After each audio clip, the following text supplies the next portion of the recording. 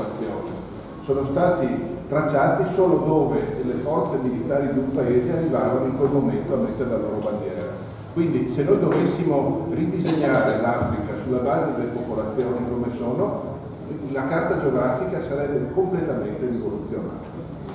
La seconda cosa che mi permetto di aggiungere, è stata molto puntuale la professoressa, come ho detto prima, che in quella vicenda che ha creato purtroppo l'inizio del baratro per il Mali e per l'Africa occidentale tutta, posso dire, ci sono ancora degli aspetti molto oscuri che chissà quando la storia dovrà scriverli per come si sono, si sono sviluppati, perché troppi soggetti che hanno ancora il potere non hanno interesse che si scriva la storia come si è svolta.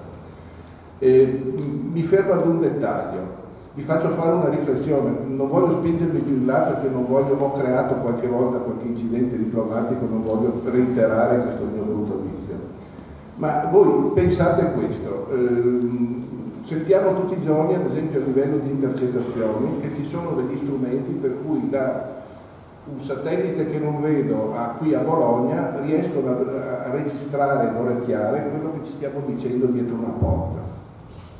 Quando è, attaccato, è, stata attaccata la Libia dalle forze internazionali, dove l'Italia ha fatto forse l'errore più drammatico della sua storia recente, Gheddafi aveva qualche migliaio di mercenari, gente professionalmente, se possiamo usare questo, questo aggettivo, molto brava perché non aveva pregiudizi di nessun genere e sapeva, faceva solo la guerra con tutti gli strumenti perché gli, armamentari di Gheddafi, gli arsenali, erano, avevano tutto, dalla fionda quasi alla bomba atomica. Bene, ad un certo momento, quando si trattava di disarmare, di neutralizzare, secondo la logica di chi la guerra l'ha voluta, i mercenari di Gheddafi, ad un certo momento è successo che questi signori sono usciti dal, dalla Libia portandosi gli arsenali e saccheggiando le banche.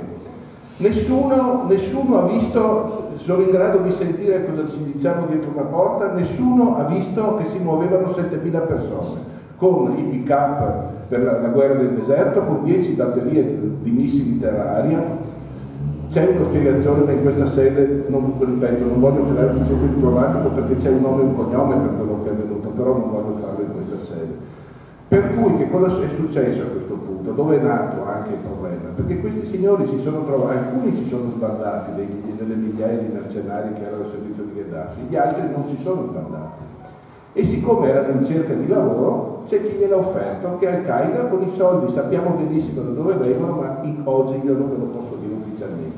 Ve lo dico in un angolo e poi smentirò di averlo detto chiedo scusa se ho precisato qualche Vede signor Console, i grandi esperti di geopolitica che ci affliggono tutti i giorni nelle nostre televisioni non solo non sanno niente, e se lo sanno non lo dicono, ma proprio non hanno mai ragionato su quello che lei dice, che è esattamente vero, perché non solo sono stati gruppi tuare andati lì, ma sono andati nel sud del Sudan, sono andati nella Repubblica Centroafricana, di nuovo nel Darfur di cui nessuno più dice niente, come non succedesse, eccetera, eccetera, e così via. Quindi... Grazie eh, ancora per questi interventi, come lei ha già proposto questa è anche l'idea di, di, questo incontro, non è tanto formale come lo vedete, ma ci sono tanti punti interessanti in cui ognuno può andare oltre un giorno per possiamo parlarne. Su cui, come prima avete visto, vi presento Giulio,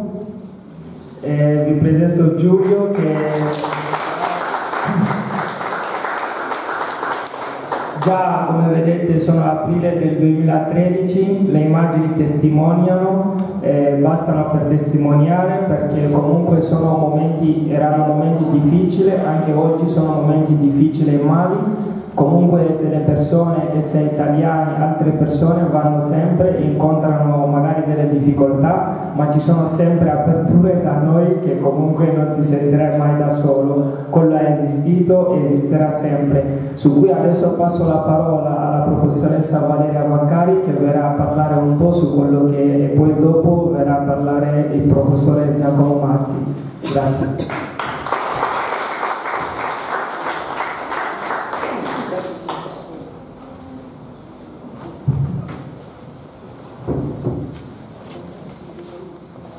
Beh, grazie dell'invito, è molto stimolante questo dibattito e anche io vorrei portare il mio contributo.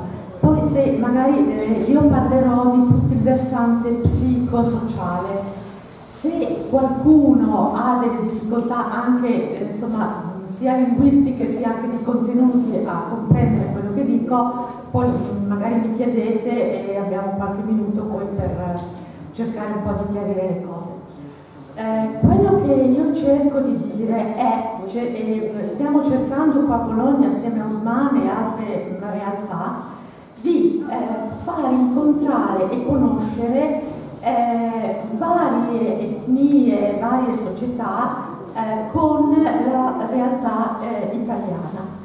Qual è il problema principale? Il problema principale dal punto di vista psicologico si chiama infraumanizzazione. Che cos'è l'infraumanizzazione che è stata studiata da poco, sono una decina d'anni all'Università di Lovanio?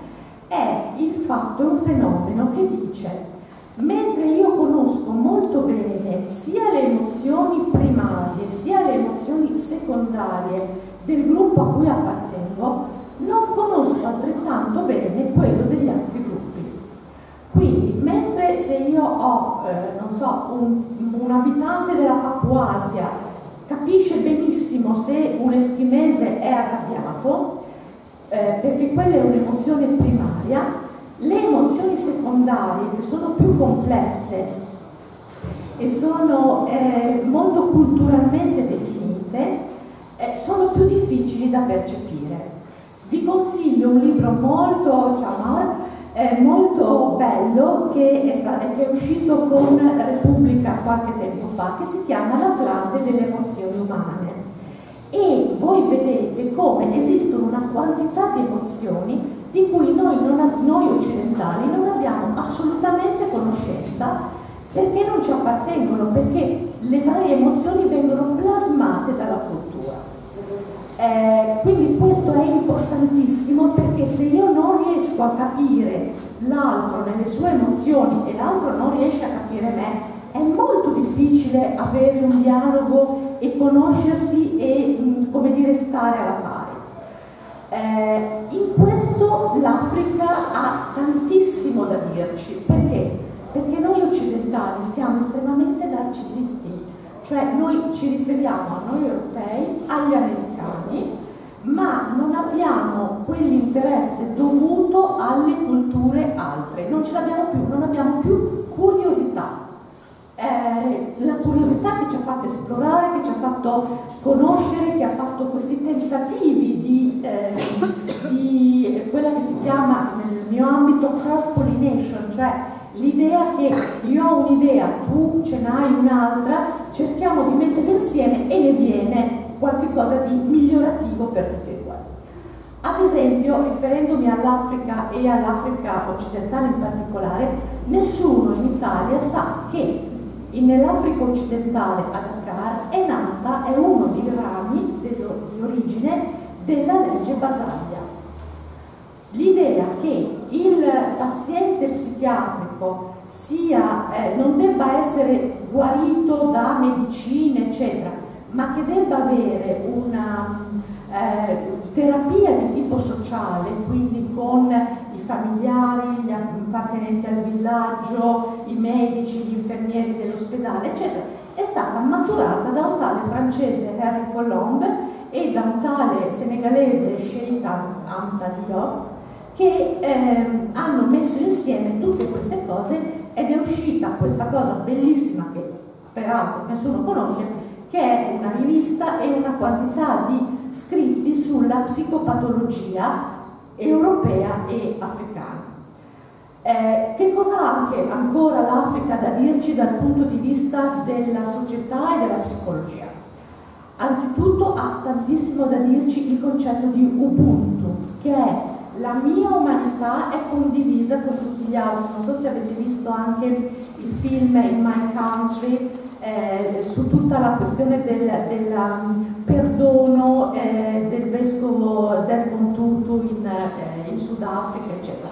L'idea che esiste un'umanità comune, condivisa, a cui tutti facciamo riferimento, quindi è esattamente il contrario del eh, razzismo, della deumanizzazione, dell'infraumanizzazione dell'altro, è l'idea che dobbiamo e che a un certo livello ha detto Husserl con eh, il concetto di eh, interrelazione, però a livello molto mm, come dire, di base è un concetto tipicamente africano. Questo concetto ha una potenzialità a mio avviso enorme perché? Perché eh, in Mali proprio, io sono stata alcune volte, voi vedete queste moschee di fango che sono dei capolavori enormi, a un certo punto piove e quindi il fango insomma, tenderebbe a stretolarsi. Bene, chi è che sistema tutto questo fango, lo riappiccica alle pareti? Le, le moschee sarebbero musulmane, ma vanno animisti, vanno cristiani cattolici, vanno cristiani protestanti, evangelici, eccetera. Quindi l'idea del, beh, io non sono della tua stessa religione, ma non è che mi combatto come fanno i cattolici, come facevano i cattolici e gli eretici nel Medioevo, No, tutti insieme possiamo comunque collaborare a questa cosa. Quindi c'è questa cosa molto bella di non vedere l'altro come il nemico. Quindi l'alterità che però non è vista come opposizione ma come possibilità di comprensione, di, eh, appunto di cross pollination, di impollinazione reciproca. L'idea che la donna non è così, cioè eh, sottomessa e quindi ha un suo potere all'interno del villaggio, all'interno della società, eccetera. Tant'è vero che una delle donne, mh, mm, insomma, molto eh, dire, in gamba anche dal punto di vista politico, che è la Minata Traoré, che è venuta diverse volte anche in Italia, è una persona di grande, grandissimo livello, che ha scritto dei libri molto interessanti, fra cui uno che si, in, in italiano si intitola, si chiama La Morsa, e che ehm, mette in rilievo quanto ci sia di coercizione da parte del Fondo Monetario Internazionale rispetto a quelle che sono le eh, modalità anche eh, diciamo pratiche economiche del, dell'Africa. Poi c'è questo bellissimo film che forse qualcuno, qualcuno di voi conosce che si chiama Bamako in cui c'è questo processo con tutti i eh, i, i, giurati eh, vestiti da giudici e avvocati che eh, fanno vedere come queste modalità estremamente che poi non si eh, adeguano neanche alle esigenze dell'Occidente, ma sono delle modalità estremamente, come dire, direttive, poi alla fine eh, si inseriscono malissimo nel punto di vista e nelle esigenze africane e quindi creano dei disastri totali.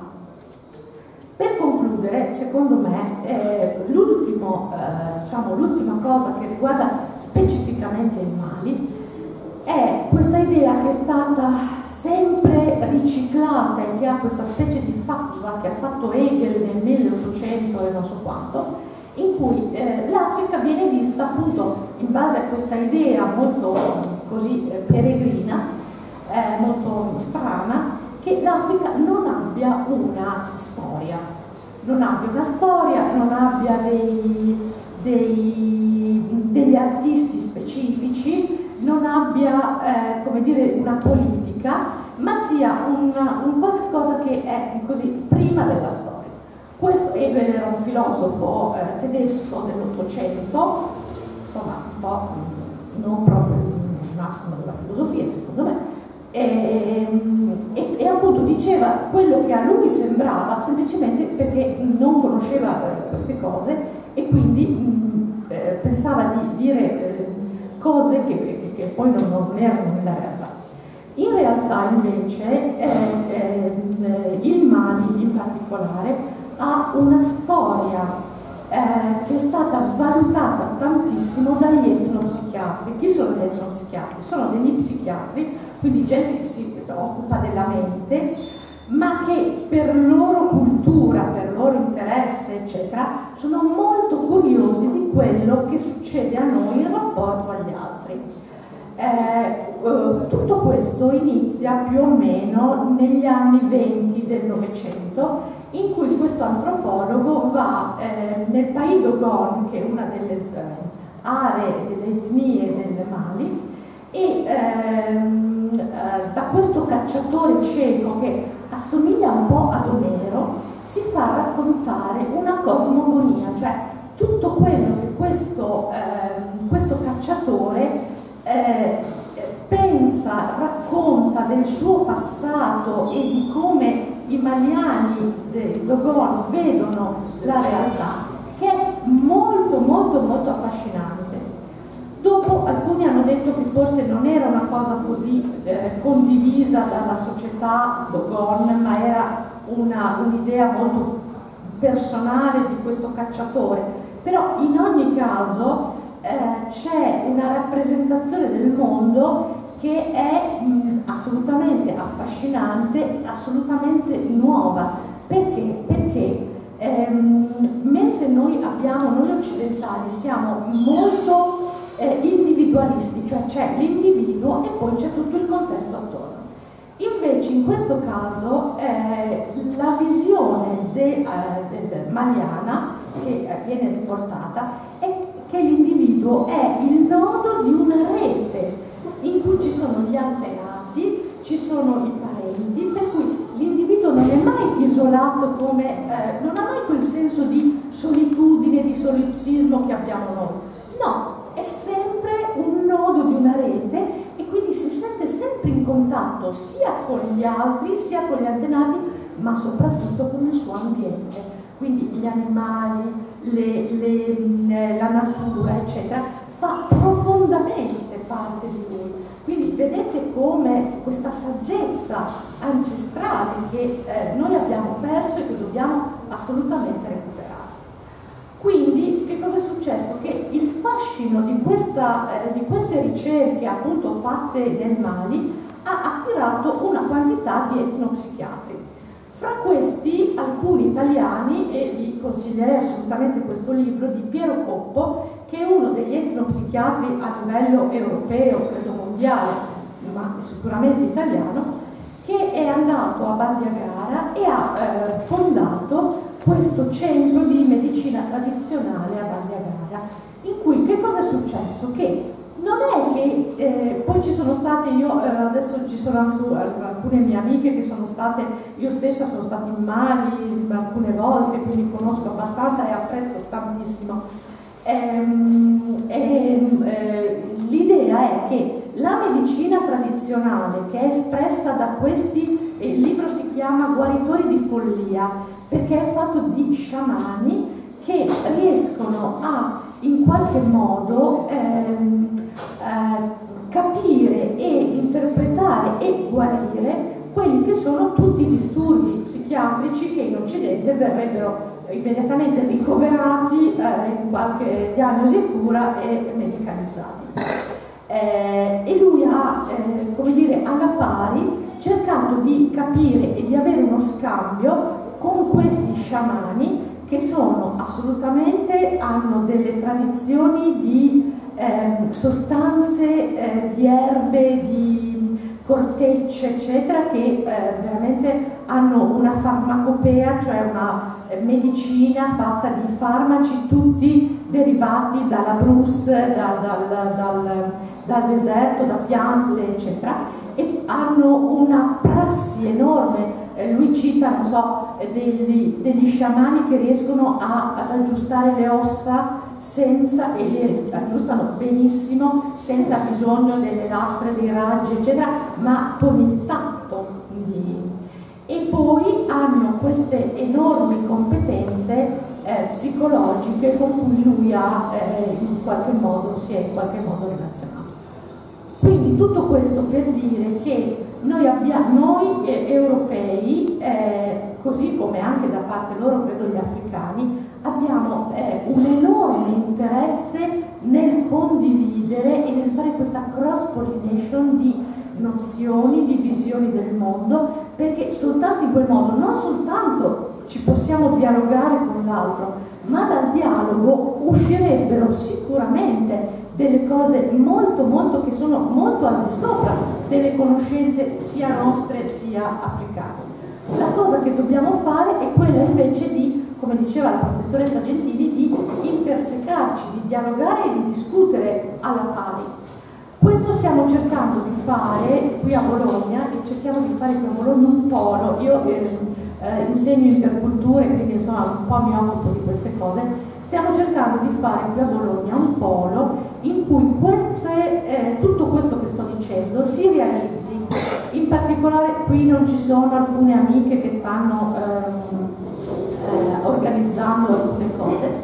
In particolare stiamo cercando di organizzare un anno intero di interventi, fra cui una mostra sull'arte africana, in modo che eh, quello che è eh, il nostro, diciamo, un mantra, una, una, un modo di, di, di pensare di base che è vivere insieme in pari dignità, si realizzi nella conoscenza e nel dialogo eh, comune. Grazie.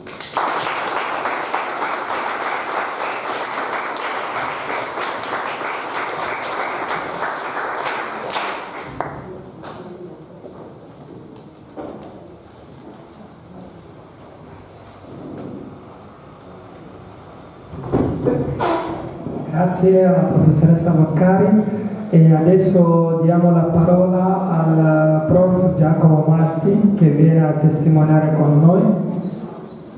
Grazie.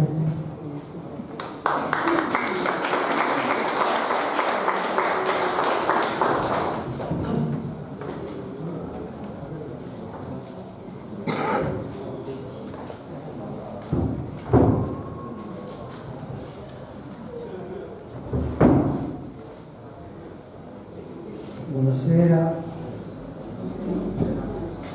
sono contento di vedere la sala piena.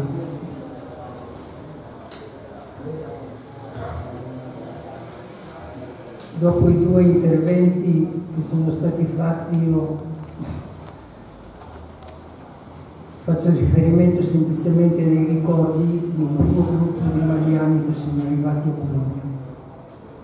E leggerò un brano di un'intervista che è stata fatta a Silvia Lena, che anche lei si occupava di classi, di convergenze, di riunire gruppi, eccetera. La seconda, che sarebbe la prima cosa da dire, è che la, la professoressa Giovanna Bettoli mi ha chiesto di rappresentarla e di portarvi i, vostri saluti, i suoi saluti. Sapete che è già stato detto, non ha potuto venire perché suo marito è deceduto giovedì scorso, una settimana fa, e oggi ci sono le cremazioni. Quindi l'abbiamo ricordato e li ricorderemo.